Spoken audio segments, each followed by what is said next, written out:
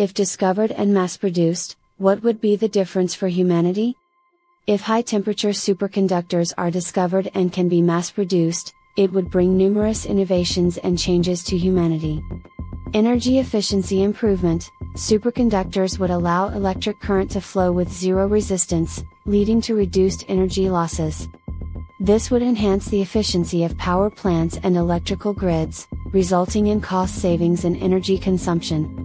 Advancement of high speed electronics Superconductors operating at higher temperatures would enable faster electric current flow and significantly enhance the speed of electronic devices such as high performance computers, communication systems, and sensors.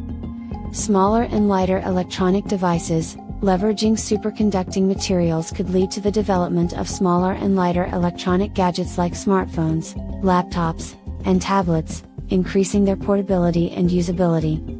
Advanced medical equipment, superconducting technology can enhance the precision and resolution of medical devices like magnetic resonance imaging, MRI, offering more sophisticated diagnostic and therapeutic methods for various diseases space exploration and power transmission, the application of high temperature superconductors in space exploration missions and wireless power transmission systems could improve efficiency and reduce energy losses in these domains. Industrial advancements, the discovery and mass production of superconductors could revolutionize industrial sectors by increasing the efficiency of electrical devices and systems, leading to cost and energy savings in industrial production processes.